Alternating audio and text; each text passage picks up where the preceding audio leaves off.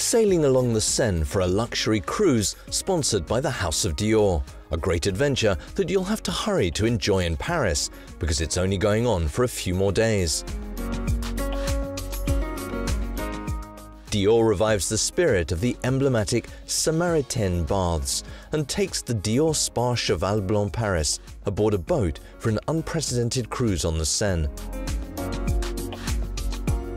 It's an invitation to discover the art of well-being and the excellent know-how of this iconic address in a different way, and the opportunity to experience an enchanted parenthesis in Paris, the city so dear to the heart of Christian Dior and the house.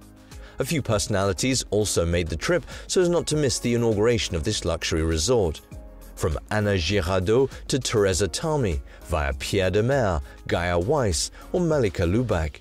Many guests came to celebrate this Dior Spa Cheval Blanc Paris cruise on the Seine. Until July the 13th, 2022, four suites are available per crossing. They offer an exclusive skincare menu that showcases the most prestigious ranges from Dior.